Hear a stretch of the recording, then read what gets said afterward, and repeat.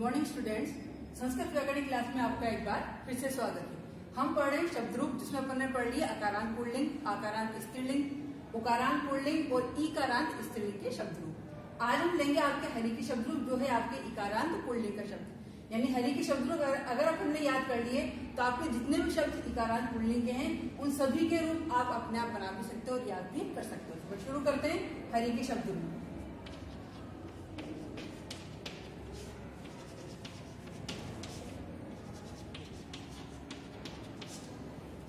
हरि हरि हरिय।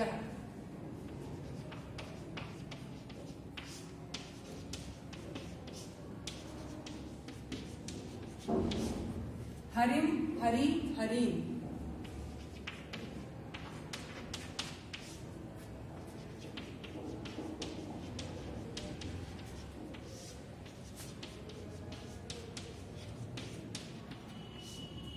हरिणा हरिभ्याम हरिभी।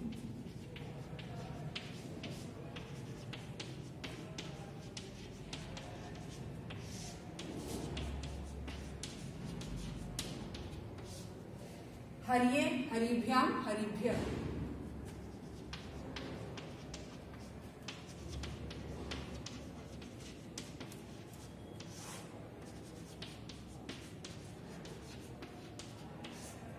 हरे हरिभ्याम हरिभ्य।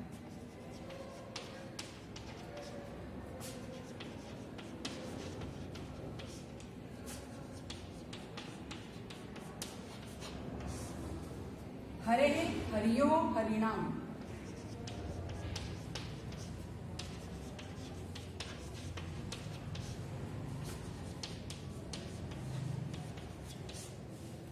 हरौ हरियो हरिषु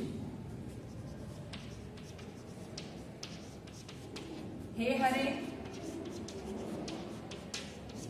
हे हरि।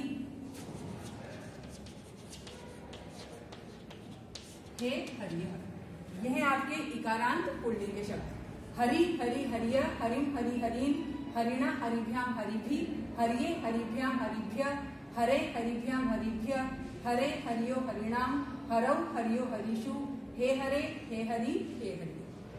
तो आपके जितने भी कारांत पुल्लिंग के शब्द हैं, उन सभी के शब्द रूप हरि के शब्द रूप की तरह ही बनेंगे। जिन्हें आप खुद लिखना और याद करना। अब अपना शब्द रूप बदल देते हैं। अब लिखेंगे अपन मती के शब्द।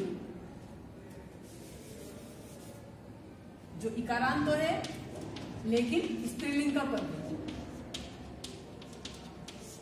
अब लेंगे अपन आपके मती के शब्द रूप जो है आपके इकारांत, स्त्रीलिंग का पद। तो जितने भी आपके इकारांत, स्त्रीलिंग के शब्द हैं, उन सभी के शब्द रूप आपके मती की तरह ही चलेंगे।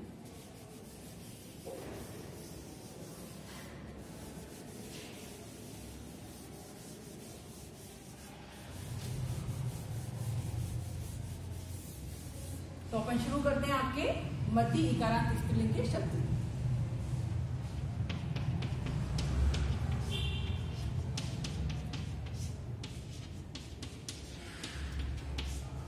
मति मति, मतिय।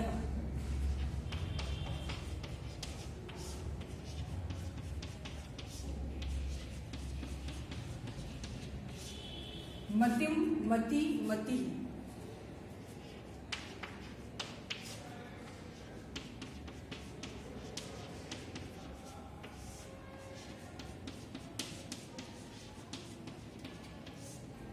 मत्या मतिभ्याम मतिभी।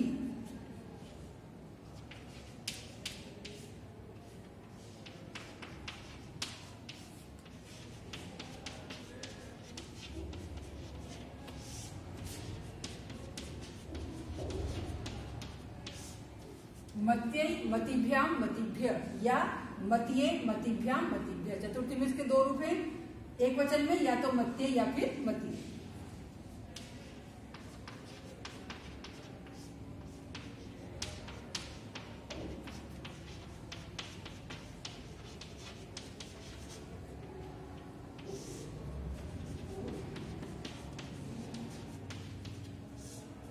मत्य, मतिभ्या, मतिभ्य, या मते, मतिभ्या, मतिभ्य। पंचमी भी एक वचन में दो रूप है इसके, या तो मत्या या फिर मते।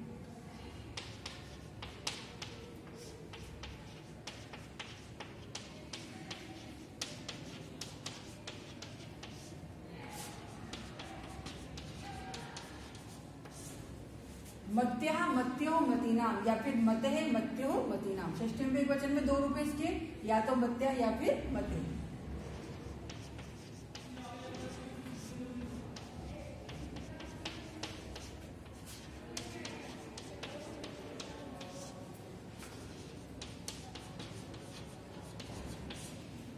मत्याम मत्यो मतीशु या मतौ मत्यो मतीशु सप्तमी में इसके दो रूप है या तो मत्याम या फिर मतौ।